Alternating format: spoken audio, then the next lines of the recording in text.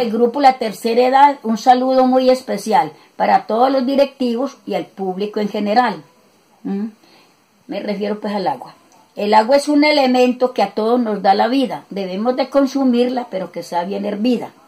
No contaminemos el agua, que es un elemento natural, que a todos nos favorece acá en la comunidad. en los copos de un árbol canta alegre un turpial y goza del agua pura que brota del manantial. Acudamos pues ligeros y que sea sin demora. Cuidemos con mucho esmero la fauna y la flora. Estos versos los saqué de mi propia inspiración y espero les penetren en el fondo del corazón. Muchas gracias.